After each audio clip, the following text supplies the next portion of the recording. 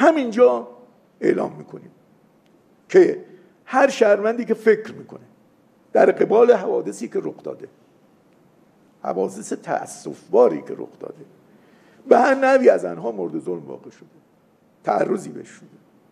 این ظلم هم از هر نایه صورت گرفته باشه. مراجع قضایی ملجع و پناهگاه چیان؟ مظلومینن و باید اینا این مرجع را پناه خودشان قرار بدن. به ما رجوع بکنن. هیچ ظلمی اگر به کسی صورت بگیره قابل پذیرش نیست در نظام مقدس جمهوری اسلامی. تعرضی بشه. خدای نکرده ظلمی صورت بگیره.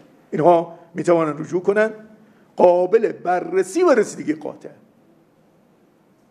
تعرضی به کسی بکنن. کسی متضرر بشه. بعد بگذاریم ازش بگذاریم. نه اینجوری نیست. و قطعا مراجع قضایی ما در مقام رسیدگی و اتخاذ تصمیمن